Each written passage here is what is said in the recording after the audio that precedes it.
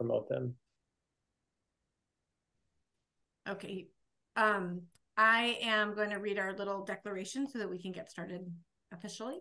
Um, the time is now seven of three, and seen as a quorum of committee members is in attendance. This public hearing is being called to order. Welcome everybody to the November 28th, um, 2023 pub, uh, public meeting, not hearing, um, of the Amherst Community Development Block Grant Advisory Committee. Pursuant to Chapter 20 of the Acts of 2021 and extended by the state legislature on July 16, 2022, and probably extended again since then, but I don't have the date. This meeting is being conducted virtually using the Zoom platform. The meeting is being recorded and minutes are being taken as usual. And we'll just do a um, a quick roll call um, so we have it on camera that we're all here. I'm Becky Michaels, the chair of the CDBG Advisory Committee. And I'll go just in order. Zoe, you're next. Um, I'm Zoe Solis. I'm a member of the committee. And Suzanne. Suzanne Schilling, committee member. And Nat. And Nat Larson. Great. And Nate. Hi, Nate Malloy, a planner with the town. Um, so we have um, an agenda tonight um, that has a lot of things on it, but that we can probably move through, fairly quickly, and we will have time for um, public comments toward the end. Um, and if people raise their hands as when we reach that section, uh, we will call on you and, and bring you into the meeting if there's anybody here right now hearing this. Um, so we can go ahead and get started just pulling up the agenda. Um, so I guess first is announcements. If anybody has any announcements. Yeah, I'll jump in. The um the state increased the mini entitlement uh grant up to nine twenty five instead of eight hundred twenty five thousand. Great. So what does that look like division wise? Oh, I don't know. I didn't do any of the math. Okay. I, I, I almost don't want to believe it because um it just came came out of the blue last week and um, I don't know, it just seems, you know, I, I know um, the competitive communities could apply for a higher amount. So my guess is that some mini entitlement communities must have um, complained or made note of that, and so they increased the mini award. But um, I was almost, I was almost gonna, I was expecting another notice to say that they were going to take that back. And that will be divided percentage wise between non-social service and social service the percentages would be the same. So 20% social service, so would go up by a bit. Yeah, I mean, it's just that usually their pots, um, you know, what the state gets is limited. And so if there's 11 communities, it's a, you know, over a million dollars now, which if they have 24 million a year, it's actually a, million dollars is a pretty big percentage to go to minis. Um, but. Um, well, great. That's a nice announcement. Well, we'll have, we'll have no problem allocating it, I'm sure. Exactly. Right. Exactly. Um, great. Anybody else have any announcements they want to make? Okay, great. So we'll move on to um, a discussion of the 2022-23 grant startups, um, specifically around site visits. Um, so Nate, I'll let you lead in, and then I do have a comment about site visits. Yeah, uh, you know, the social services are getting under contract. They started as of November 1st. Valley CDC is doing a micro enterprise uh, technical assistance program which started December 1st or will start. Uh, you know, I usually schedule site visits. I haven't yet, so I was going to say that we, if a committee member wanted to come, they could.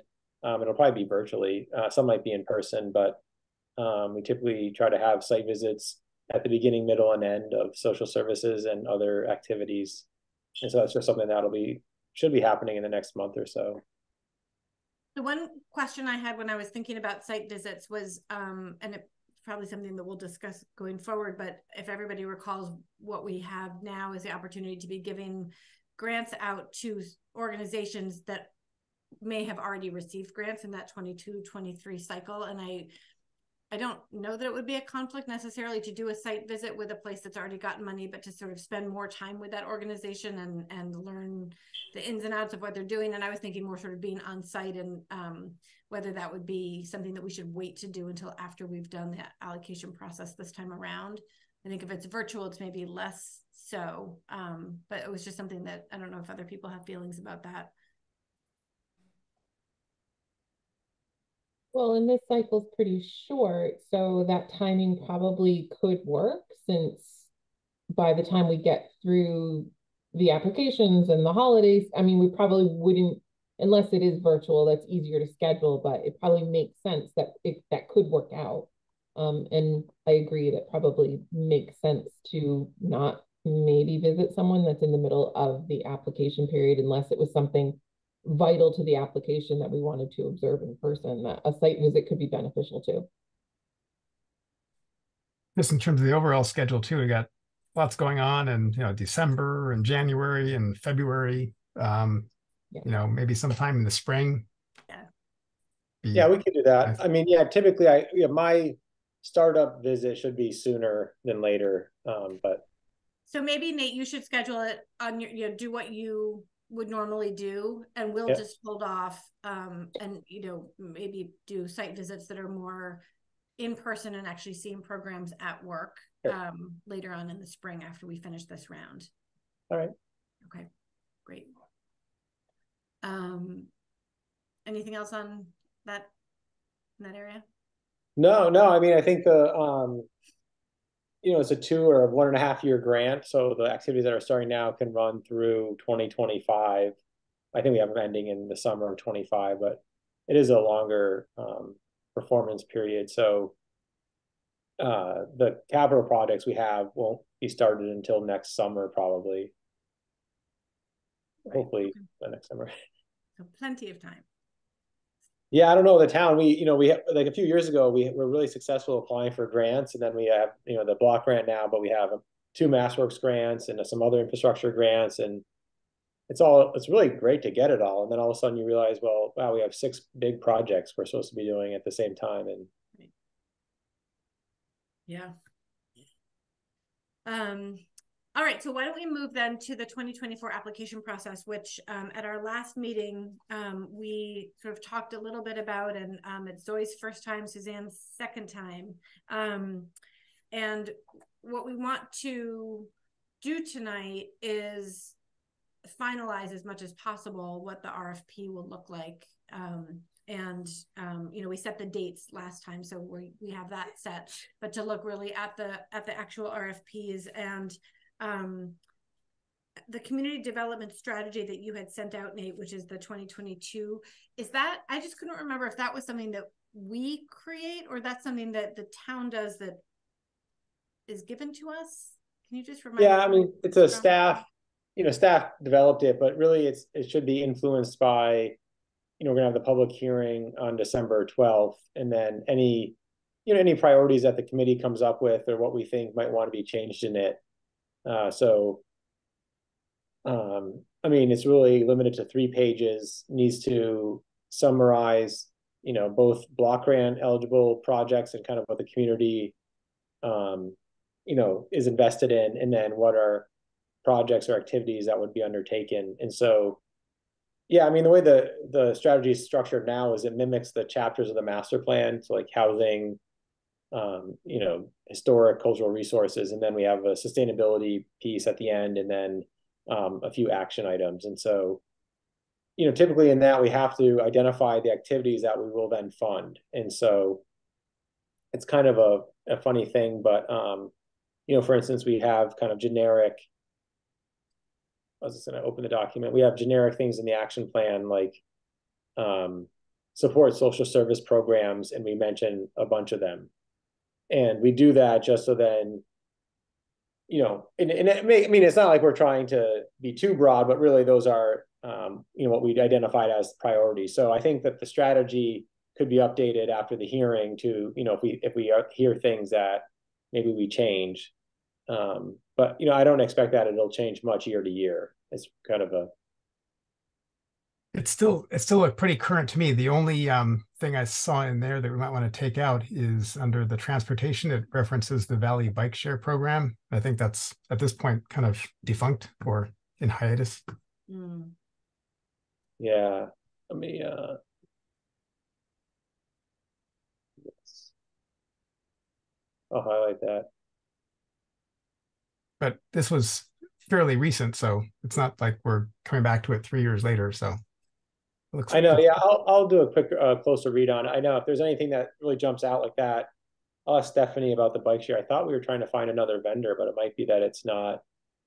Um, Yeah, it might actually be kind of dormant for now. And then, um, you know, and then we mentioned the target areas, and then we have our priority projects, and we have, you know, eight of them, and so. I mean, really what it would be too is we have a public hearing in December, we can update the RFPs and this document if we think there's some priority for social service or something that we missed. And then we hold a second public hearing to review the recommended activities in February. And at that public hearing, we also will also include updating the strategy too. And so if we need to do a last minute effort and say, oh, well, you know, maybe we have to tweak a, um, a target area, we could do that as well. So, I mean, I, you know, if you want to look at it individually or we talk about it more tonight, but I don't, I agree, it was written just, um, I mean, not even a year ago, right? I think it was finalized less than a year ago, so. And prior to that, when had it been written? Is it something that does get updated pretty much every year or is, Yeah, we, I think, you know, so originally it was, um, a number of years ago, you could, it could be six to eight pages, and before that, I think was longer. And so we hadn't updated one in a few years, I think for, in the two thousand teens, it kind of stayed the same for a number of years. And then, um, probably for the twenty twenty grant or twenty-one grant, they reduced the pages or, and that's when it really, um, kind of updated it more thoroughly. So the document itself has been around, but I think probably this version is, um, I know Ben and I, more Ben, worked on it and really tried to update every category. So, I mean, we mentioned like tw- two thousand twenty-three funds and other things, so I, I feel like um, it captures quite a bit of what more recent things the town's been doing. Yeah. Mhm. Yeah, so I mean, it's really, I, yeah, I, I just kind of laugh, I kind of laugh because the state's like, oh, we should update this every year, and oftentimes communities say, well, you know, we have a master plan that's good for ten years. I mean, this is supposed to be like a mini master plan. Are we really going to change it drastically year to year? right? And I think maybe some of the accomplishments can be updated, but in terms of the goals, like, you know, did our housing goals change or our transportation goals? And um, typically they don't. Or the activities to be updated, you know, but pretty much the priorities remain the same, if I'm understanding. Okay, Yeah, yeah, right. So if, for instance, there's a proposal that comes in and it's like, wow, okay, wow, we hadn't really thought about this, or it's a, something in North Amherst and we really want to make North Amherst a target area. I think we could justify it. You know, there's the new library expansion, there's work going on around WD Cowls, there's the Mill District. Uh, Yeah. and so then, you know, we could say, okay, well, wow, we had um, a few proposals for North Amherst, and let's make North Amherst a target area and we update the strategy accordingly. Um, so the December public hearing is one of the bullets. Is that just to note that that's sort of where we will hear back from the community? Yeah, and I haven't updated the webpage, but I think um, we talked about, you know, trying to advertise that and, you know, committee members are, can also let people know. Yep. Um, I'll get a public hearing notice going tomorrow. I'll email it around by the end of the week to different organizations and get it online.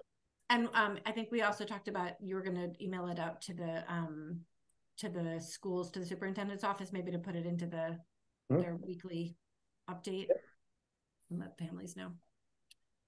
Yeah, Um,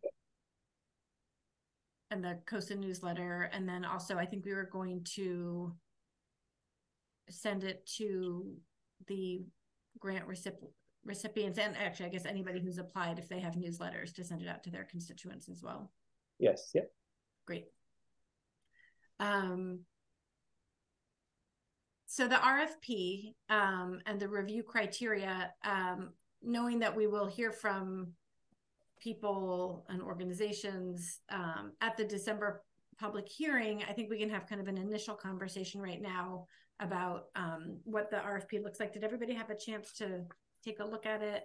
Um, again, sort of similar to the community development strategy, we actually rewrote quite a bit of this last year, I believe, and, and sort of tried to update it by adding in equity, adding in environmental um, issues as, as part of what we were looking for um, from the um in the responses that we would get. Um, so I didn't see from from my point of view, other than you know dates and names changing, um, because now you get to receive them again, not Ben. Um, the uh, there wasn't a, ton to me that looked like it needed changing. Um, the one the one thing that keeps popping up in my mind, and I don't know whether now is the time to talk about it, maybe an initial conversation now, and then it'd be interesting to hear from people at the public hearing, is whether we want to make a decision about restricting who we would give grants to um, by by sort of at the for at the outset saying we're not going to duplicate 2020 the two year grant with with this one year grant and so if somebody has received it received that two year um, grant then and then they would get another year um, of money that would be overlapping with the same year. So essentially, you know, two two um, allocations going to the same organization in the same year, um, and whether we would want to make a decision. I'm not advocating one way or the other, but I think that's something that we could potentially decide. And if we were going to decide that, I think it's the the kind thing to do is to decide it up front so that we're not asking people to work on applications um, and to you know put all that work into something that in the end we would say actually i think we're not going to you know do duplicate um, allocations so i don't know if people have thoughts on that I do agree, you know, that we need to do this, you know, ahead of time. You know, if we if we if we are going to be setting criteria like that. Um, uh, however, you know, is the idea here that we will be funding um, basically you know totally different activities that fall within you know the um you know the priorities or you know um if we are to be funding the same ones you know as long as they have a different you know uh, component you know to the program. I think we've talked about it before. So i can go either way but i do agree that this needs to be you know um laid out before. I think if we had fully funded the projects that were requested um, that would be a different story, but I, I know that we didn't fully fund um, the, the request that we had. So I would, um, you know, some of the needs are very great for some of the applications that we received. So I'd hate to cut something off if if it was going to really fill a need among the priorities. Um, so yeah, yeah, the state wrote and said, um, you know, I asked what we should do in terms of overlapping activities, and they recommended we have we have our social service um, contracts start November one and end June thirtieth, twenty twenty five, and they said, oh, just have the next year's grant start on July first, twenty twenty five, and just say it's a continuation of the activity. That way, you could fund it. Um, mm. Which which would be fine. I think the um, what it does is it pushes back the start date. So, you know, the state would say that if we apply this spring, they're going to try to get contracts going in the fall. And so instead of starting it December 1, like we normally would, they would start July 1 for some. Um, I don't think that's a problem. It's just, you know, it. But does it just, that just sort of push off the problem? I mean, if then the next round of funding, we have the same issue in that we're sort of putting everything ahead six months, basically just to keep funding the same. I think the next year we'd run the contracts July one through June thirtieth, twenty twenty six, and then um, or we could do shorter. And I, I think it it probably resolve itself, but it might right, it might push the problem off a little, you know. Yeah, I mean it's a pretty big decision. I don't know, um, you know, how you you know if you would say you wouldn't fund you know, any of the five organizations if they applied. Yeah, I guess my my concern would be that um, um, you know we've we tend to have funded the strongest applicants. So if we kind of take them off the table, then we're left with, judging by the typical you know prior years, a couple stronger applicants that we weren't able to fund, and then maybe a number of weaker applicants. Um, so I guess I would hesitate to make that a hard and fast rule up front rather than waiting to see what comes in. Mhm. that's sort of where I'm, I fall as well. Um, because I think we just, we don't know what's going to come in. And I think even though, um, the sort of general, um, priorities stayed the same, the general, you know, development strategy stays the same. I think there are increases that we hear about in need in certain areas that are, you know, perhaps greater than in others. Um, and I think cutting ourselves off from funding those, um, I, I don't think it's necessary to do it. I just wanted to have a, and I, I think, um, I think it was, we just needed to have the conversation and make sure that we made that decision. So, Yeah, think- and I think some of these organizations are large enough that um, they're doing a, a number of tasks that we may have funded A, but they're going to apply for B or C. Um, so I, I, I would err on the side of um, not cutting off any of those prior funded organizations. okay, good. It looks like we all ag- agree on that and, um, and then we can have made that decision intentionally and We can read more. exactly. Only ten to fifteen pages. That's right. We do, we do, we do limit the, uh, the, the page number. Yes, so. exactly. And to be clear, that was clearly not the reason I was raising this. No, no. I know. Um, So um, the types of activities, um, we had rewritten these and I think added some in last year. Um, does anybody have any thoughts on that's um, number five on the on page four of the I'm looking at the social service application. Um, and so that's sort of the the um, the list that that the programs need to fall within. And I don't know if anybody has any thoughts about adding anything there or any that wouldn't, we wouldn't need to have anymore. My recollection is that when we did this last time, we didn't actually remove anything. I think we sort of um, tightened the language or broadened the language where necessary to to um, meet more what we were really trying to do with the with the grants. Um, but that they generally have been essentially the same, I think, for probably decades. Right.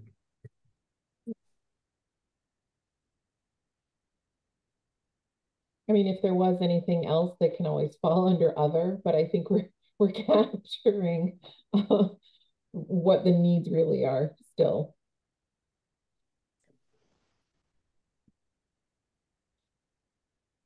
Um, so th- that was really the only area that I thought we needed to have conversation around for the social service activity application. Um, does anybody have any other areas they want to raise in that particular application? No, I thought we did a pretty good job last time Okay, updating it and it wasn't that long ago. So exactly. um, Nate, anything you want to bring up on that? No, I mean, I think we'll, um, I think we have to update, like you said, some of the, um, some of the, some of the information. You know, I think the, uh, page limit and how we try to word that is important. And we, you know, I know we've added bold and certain things to really make sure people follow it and underline things.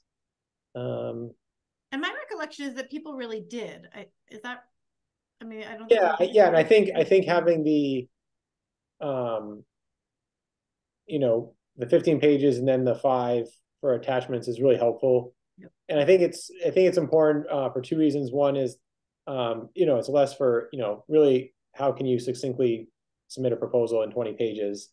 Less for us to read, and then we, at the town, when we submit our applications to the state, they limit our page numbers too, so we can't you know, we can't submit a forty-page proposal for one activity, you know, they wanna see, you know, the three-page narrative, they wanna see a budget page or two and a few things, so even, you know, um, so what, what we incorporated into the request for proposal really translates into what the state would wanna see, even in terms of some of the review criteria, so we're trying, you know, we mirror that pretty closely, so what the organization provides to you and then how you recommend them is also then what the state looks at, so uh, you know, I think we get, and that way we, you know, our proposals are ready to be submitted. Um, as opposed to having someone write more information, you know, after they're recommended or something. We really, I feel like we've created a pretty good process. Great. So, yeah, I didn't, I haven't, you know. I don't think they've, uh, yeah, I don't think the state's changed anything, so, um. I should, I, I, I'll make a note to just look at their, their proposed changes were really minimal, so I, I think all this would probably holds true. And do you, um, so you'll go in and make the basic changes of dates and, and all of that, and then. Mhm. Um. I was gonna say I would offer to do it, but you know those addresses and dates. No Yeah, no, that's fine. And then, yeah, we can have the maximum amount. I think, you know, what we talked about at the last meeting is um, typically we can recommend up to five social services. It doesn't have to be five. And then, you know, we build the budget up to twenty percent of the grant award. So, you know, there's always a discussion about, okay, do we fund five? Is it three? And we never have a strict rule of award there. And so, you know, some communities will really say that they have one or two priorities. And then they, that's really all they fund is if, you know, and we don't do that in Amherst, and that's fine. Um, so, but I, some of it would be, you know, when it's when it is the proposal review time, we can just remember that it doesn't have to be five, or it could be five, and you know, sometimes it's difficult when you have to parse the budgets. But yeah. Um, but I agree, I don't think we need to decide any of that now. We'll wait to get, see what we get. Right. Um, for the non-social service activity application, I didn't have any recommendations to make or changes. And again, we redid this one and it's more, um. There's, Yeah, Names and dates. yeah, we just need to get proposals. I know staff's meeting next week to talk about it, and I think I know one or two agencies might submit, but um, I was surprised last year there weren't that many. yeah. All right, great. Um. So. I think that covers. Topic number three. Yeah, I mean, we, I mean, we did, I sent, I did send what, um, the previous funding allocations were, to the different agencies as an attachment. I'm pretty sure I sent that around, right, for everyone? Um, you may have, I also just noted it myself. Um, And so that, I'll put, I can put that online, but that is something we can use when we review, uh, proposals. yeah, I think we'll absolutely want that sort of handy. Yeah. Great. Um, all right, does anybody have any other questions or comments or topics under the twenty twenty-four application process? Because if not, then we'll move into um, public comment. Is there anybody here for public Uh, comment? Lev is here. Okay, Lev, if you want to raise your hand. Sure, you can unmute yourself. Uh, thank you so much. I do not have a public comment. I was just listening in to better understand the RFP process. And as always, just really appreciate the committee's uh, deliberation and thoughtfulness. So thank you so much. thank you. I hope Giving Tuesday is going well for you. Watching it anxiously, that's for sure. Thank you so much. Thanks for coming. Um, all right. Any So, items? uh, Lev, your, did your hand raise again, or?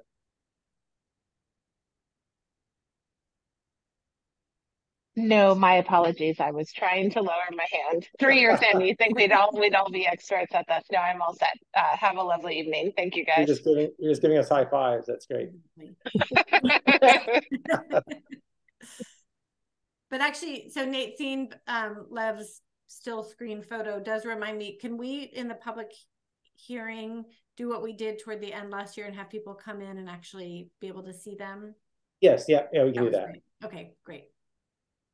Yeah, the, yeah, that's usually what we do is sometimes it's just, it takes a little bit more, you know, like it's a delay to bring people in, but it's really not that hard. yeah Um, and in terms of um, people speaking, just to sort of look at the the public hearing for just a minute out of order, I guess. Um, we have in the past limited people to about three minutes, um, which I, I think seems like a, a good amount of time and enough for them to get to say what they want to say. Does anybody have any thoughts about changing that to either fewer minutes or more minutes? I think that's pretty consistent with the other committees in town and Yeah.